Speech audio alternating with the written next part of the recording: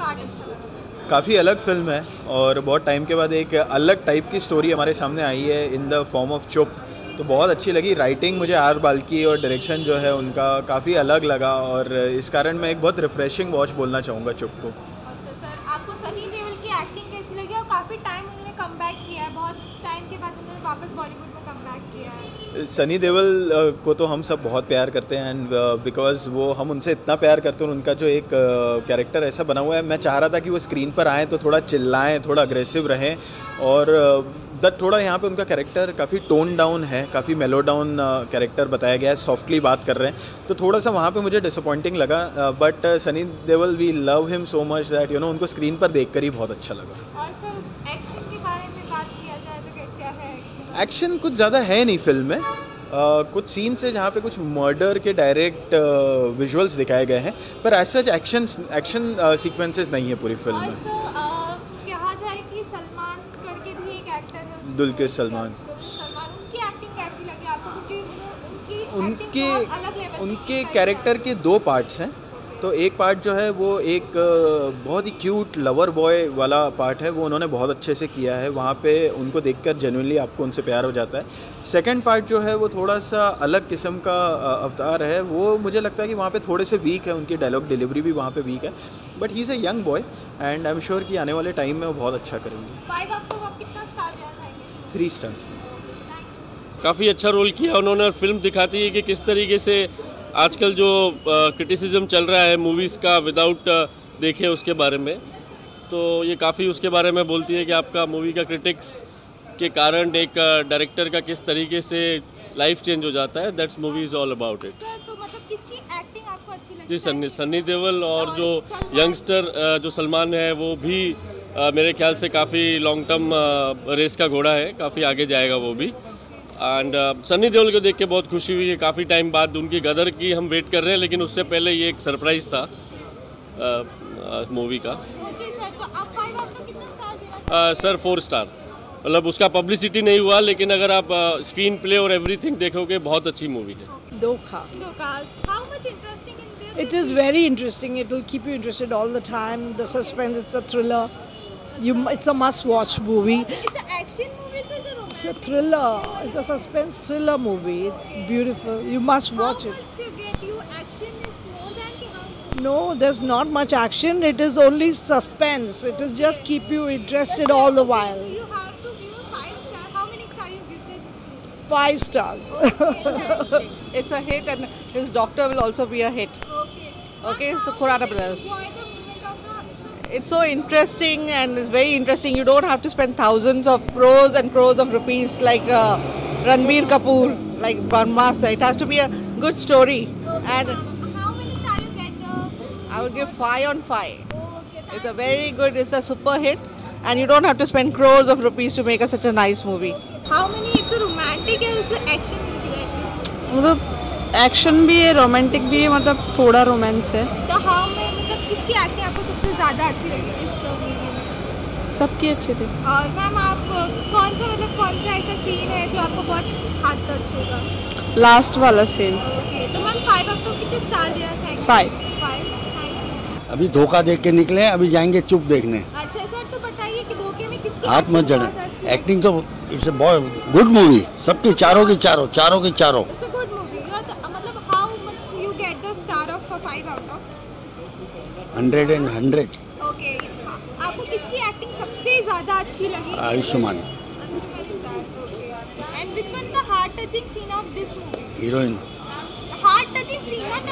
touching scene ending छापना है तो छापना हिंदी। सौ में से सौ। हाँ हाँ फाइव में से five hundred percent I am a movie lover all सब हिंदी पिक्चर देखता हूँ टोटली इन थिएटर ब्रह्मा से the worst movie five hundred six hundred rupees देना सेवेंटी फाइव में क्या खोटा है. अभी नेक्स्ट भी आना चुप देखने के बाद भी आऊँगा अभी आज चार मूवीज़ देखूँगा ऑलरेडी मैं सब मूवी देखता हूँ थिएटर में repeat Uh, uh, you- It was not Ayushman, it was Apar Shakti. Yeah, like uh, I like Madhavan, so um, I wanted to watch this movie. So uh, I think it's it's a n- nice attempt. Okay, how which scene you get the heart touch scene in this movie? Uh, uh, like it will be a spoiler, so I won't tell that. Okay, that's a spoiler movie. How many star you get the five out of? Um, 3.5.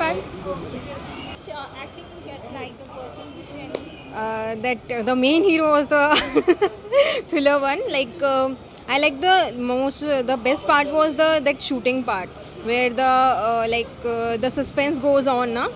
That is the main the thrilling part of that movie. Which part you had the most uh, never you forgot in this movie? uh, the one uh, where the madhavan went into the uh, like his home and uh, then the uh, like the terrorist and the fight between them and the, what uh, goes revealed after that uh, he goes to asylum na? That Actions movie in that. How much get you action in that? it's not an action movie it's actually a thriller one. So, a psycho thriller. Like in the last you will yeah actually. In the last you will uh, get to reveal that what actually happens uh, before after. So let's say Three point five 3.504. Okay, yeah, welcome. Dhoka around the corner. Okay. Yeah. Uh, how, many, how much you like the uh, action with a thriller? Which one is that? Uh, it, it is a mix up of action, thriller and romance also. Uh, and I like like the movie. Okay. It's nice. Which part is the part that you will never forget in uh, actually the last part because in last night they reveal all the things because they were uh, like from starting we are not getting what who is the true villain of the movie but in last they remember what uh, who did what so they then we come to know that who is actually the Advise everyone to show. yeah yeah of course Uh, how many uh, star will give you? Five out of. uh, four four out of five Ma'am, which movie you seen? I also saw the uh, Dhokha. Okay. Yeah. Which part it's a combination like mixer of all thriller action plus romance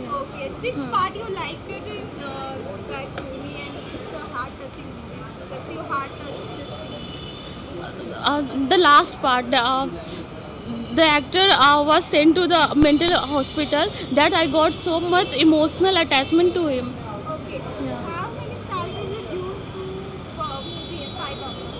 three आपने कौन सी movie देखी है? अभी just धोखा देखे हूँ। तो धोखे में आपको किसका अच्छा लगा? एक्शन मूवी है रोमांटिक है कि थ्रिलर है? नहीं थ्रिल है और सस्पेंस भी बहुत ज़्यादा थी और अच्छी लगी फ़िल्म और स्टार्टिंग में थोड़ा लग रहा था कि पता नहीं कैसा होगा थोड़ा सा बट एट द एंड अच्छी लगी मूवी और सर आपका कौन सा ऐसा सीन है जो हार्ट टच हो गया कि मतलब यू मतलब ये फ़िल्म मतलब ये इसके लिए बेस है बहुत अच्छी है।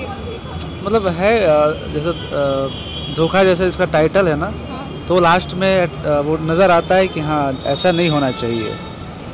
तो एट द एंड वो मतलब हार्ट को टच करते कि हाँ मतलब थोड़ा सा पेन होता है उसको और देख के फाइव आउट कितने स्टार देना चाहेंगे इस मूवी को मैं three point five three point five thank you